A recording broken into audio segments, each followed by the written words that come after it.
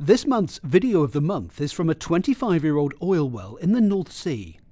The well had been shut in prior to running the E line camera.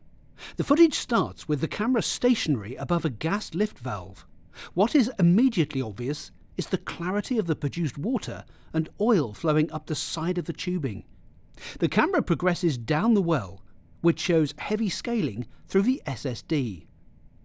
The camera then comes across an unexpected bowspring stuck in the tubing, which had been lost in the well at some time in the past, pushing this down the tubing. Next, we enter a perforated pup joint where the top perforations have been badly eroded over the years. Heavy scaling can also be seen.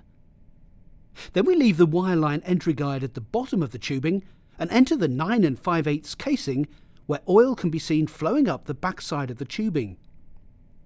As we carry on down, bubbles of oil can be seen flowing up the well until we reach the original, now heavily scaled up perforations.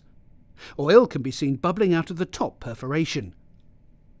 Deeper in the well, bubbles of oil continue to flow up the well as we approach the HUD, where we can see oil bubbling through the fill at the bottom of the well. The bowspring that we had earlier dislodged in the tubing also makes a reappearance.